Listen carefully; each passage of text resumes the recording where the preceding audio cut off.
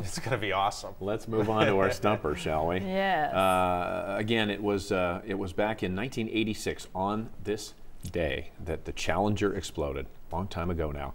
What was the name of the commission appointed by the president to investigate the Challenger explosion? Was it the Rogers Commission, the Armstrong Commission, or the Yeager Commission? I have no idea. I know exactly where I was when I heard that the Challenger What grade exploded. were you, Sharon?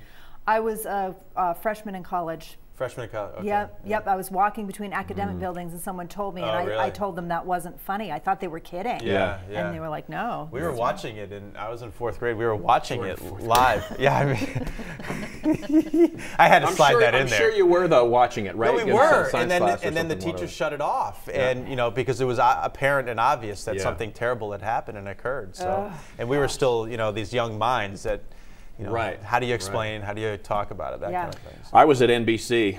You were starting your career. I was working. Wow. Yeah, yeah. But I don't remember the name of the yeah, commission. I think it was the Rogers I wanna say that that's too. I what was gonna go with going A. for as well. Yeah, yeah. The answer It is, is. indeed Oh, the okay. Rogers So I Commission. did know. Yeah.